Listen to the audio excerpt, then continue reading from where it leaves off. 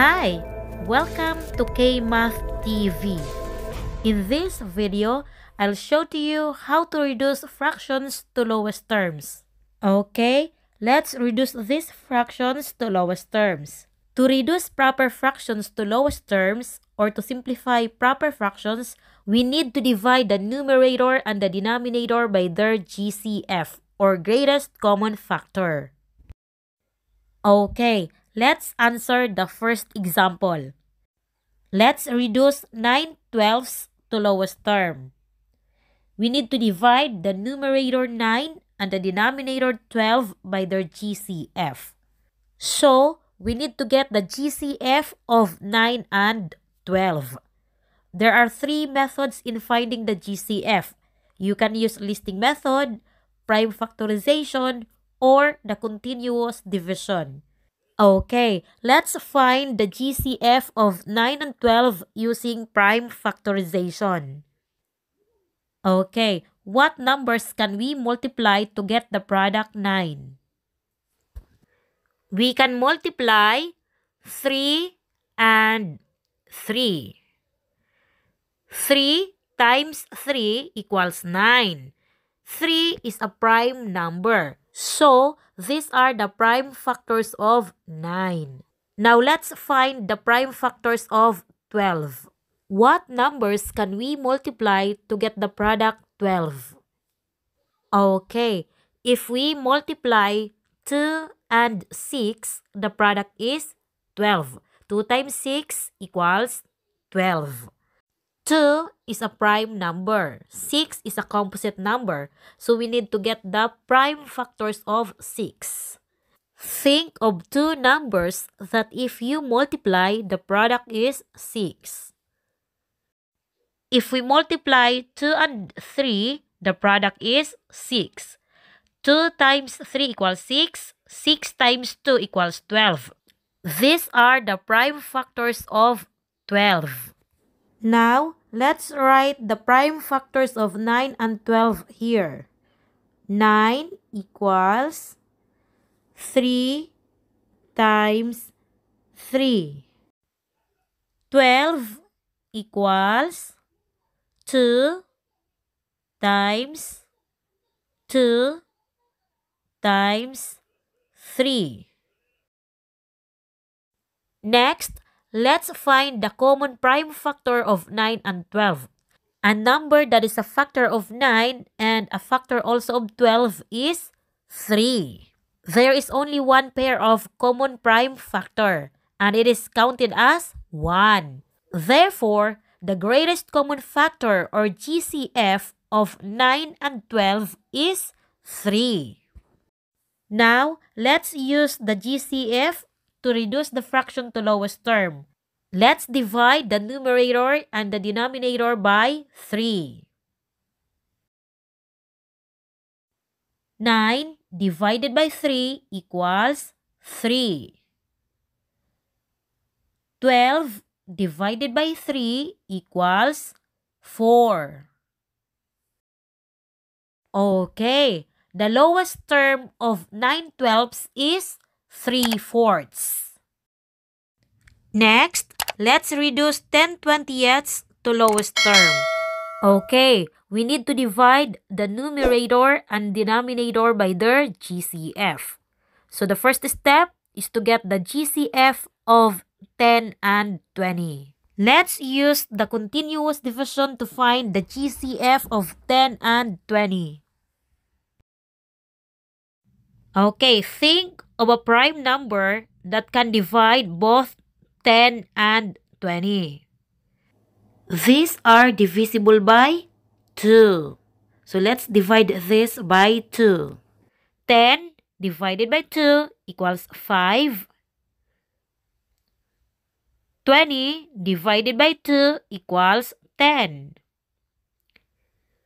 Next, think of a prime number that can divide both 5 and 10. Okay, 5 and 10 can be divided by 5. So let's divide this by 5. 5 divided by 5 equals 1. 10 10 divided by 5 equals 2. Okay. 1 and 2 do not have other factor aside from 1. That means we will stop dividing now. And to find the GCF or greatest common factor, we need to multiply the prime divisors. 2 times 5 equals 10. So the GCF or greatest common factor of 10 and 20 is 10.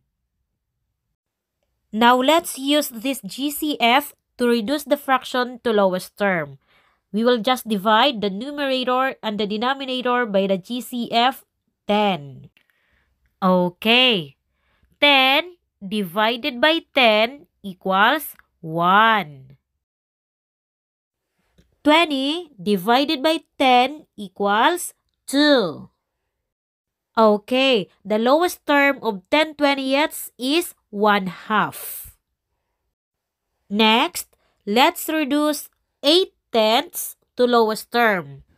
We will just divide the numerator and the denominator by their GCF. So let's get first their GCF. 8 and 10. Okay, think of a prime number that can divide both 8 and 10. Okay, this can be divided by a prime number 2. 8 divided by 2 equals 4. 10 divided by 2 equals 5. Okay, the quotients 4 and 5 are consecutive numbers. That means they don't have other factor aside from 1. So we will stop dividing now. And the GCF is the prime number we used as divisor. And because we only use one divisor, automatic this is the GCF. So the GCF of 8 and 10 is 2. Okay, let's use this GCF to reduce the fraction to lowest term. Let's divide the numerator and the denominator by 2. 8 divided by 2 equals 4. 10 divided by 2 equals 5. Okay, the lowest term of 8 tenths is 4 fifths. Last example, let's reduce 12 8 tenths to lowest term.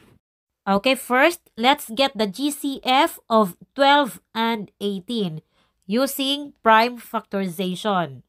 Okay, think of two numbers that if you multiply, the product is 12. Okay, so we can multiply 2 and 6. 2 times 6 equals 12. 2 is a prime number and 6 is a composite number. So we need to find the prime factors of 6. Okay, think of two numbers that if you multiply, the product is 6. Okay, 2 and 3. 2 times 3 equals 6. 6 times 2 equals 12. So the prime factors of 12 are 2, 2, and 3. Okay, now let's get also the prime factors of 18. What are the two numbers can we multiply to get the product 18? We can multiply 3 and 6. 3 times 6 equals 18. 3 is a prime number and 6 is a composite. So we need to get also the prime factors of 6. The prime factors of 6 are 2 and 3. Okay, 2 times 3 equals 6. 6 times 3 equals 18. So these are the prime factors of 18. Now let's write the prime factors of 12 and 18 here. So 12 equals 2 times 2 times 3. And 18 equals 2 times 3 times 3. Okay, now let's find the numbers that are both factors of 12 and 18. Let's pair them. The first pair is 2. And the other one is 3. These are the common prime factors of 12 and 18. And to get the GCF, we need to multiply them.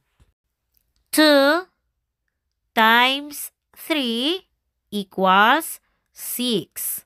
The GCF of 12 and 18 is 6. Okay, now let's use this GCF to reduce the fraction to lowest term. Let's divide the numerator and the denominator by their GCF 6. 12 divided by 6 equals 2.